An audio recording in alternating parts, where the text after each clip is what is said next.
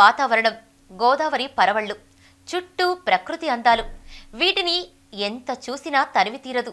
భద్రాచలం పాపికొండలు మరికొన్ని ప్రాంతాల్లో మాత్రమే అరుదైన అందాలు వీక్షించే అవకాశం దొరుకుతుంది. అందులో ఒక ప్రాంతం ఇది. అదెక్కడంటారా? మీరే చూడండి. నిజాం!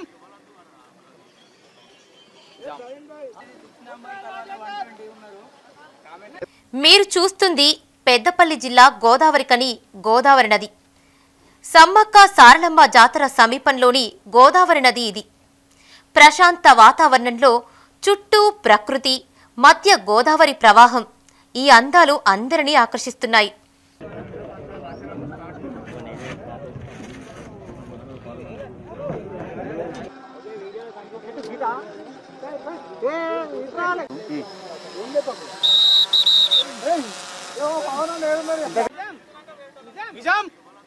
ఇటు కరీంనగర్ అటు మంచిర్యాల జిల్లా ప్రజలు పర్యాటకులను ఈ నది ఆకట్టుకుంటోంది.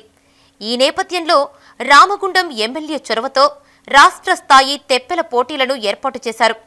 మత్స్యవీర కేసీఆర్ పేరుతో తెప్పల పోటీలను ఎమ్మెల్యే కోరకంటి చందర్ రాష్ట్ర మంత్రి కొప్పల ఈశ్వర్ ప్రారంభించారు. గోదావరి అందాలను వీక్షించేందుకు వారు నదిలో పడవ సైకిల్ స్వారీ చేశారు.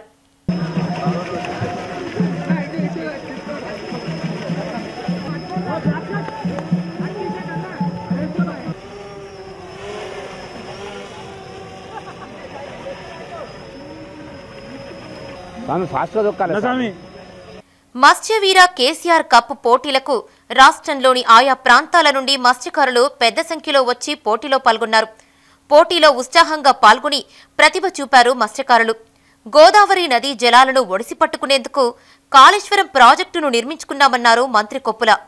గోదావరి నదిలో విహరించడం ఉల్లాసం ఉత్సాహం సంతోషాన్నిచ్చిందన్నారు. తెప్పల పోటీలను నిర్వహిస్తున్నటువంటి సందర్భం వాస్తవంగా కాళేశ్వరం ప్రాజెక్టు నిర్మాణం కాకముందు ఈ గోదావరి నదిలో కనీసం ఒక దోషడి నీళ్ళు కావాలంటే దొరకనటువంటి పరిస్థితి ఉండే. కానీ కాళేశ్వరం ప్రాజెక్టు నిర్మాణం తర్వాత ఈరోజు దాదాపుగా రెండు వందల యాభై కిలోమీటర్ల దూరం వరకు ఒక గొప్ప రిజర్వాయర్గా నిర్మి నిర్మాణమైనటువంటి గోదావరిని మనం ఈరోజు చూస్తూ ఉన్నాం.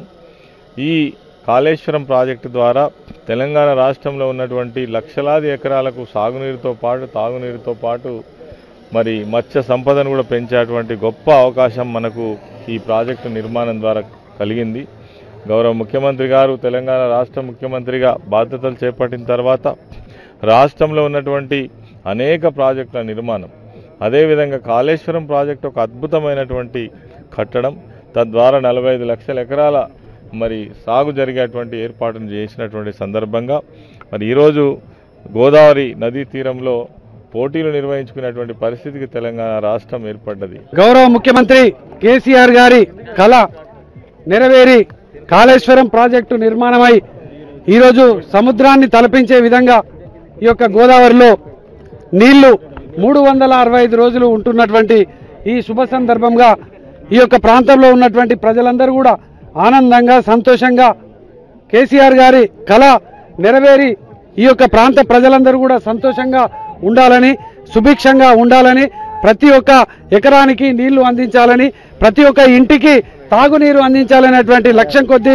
కాళేశ్వరం ప్రాజెక్టు నిర్మాణం చేసి పూర్తయిన సందర్భంగా మూడు వందల అరవై ఐదు రోజులు ఈ యొక్క గోదావరిలో నీళ్ళు సముద్రంలాగా ఉంటున్నటువంటి పరిస్థితులలో గత సంవత్సరం ఇక్కడ పడవల పోటీలను నిర్వహించడం జరిగింది. కేసీఆర్ కప్ కప్పు పేరిట మత్స్యవీర తెలంగాణ పడవ పోటీలను నిర్వహించడం జరిగింది.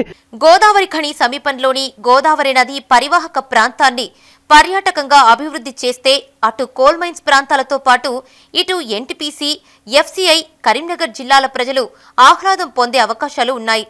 ఆ దిశగా ప్రభుత్వం చర్యలు తీసుకుంటుందని ఆశిద్దాం.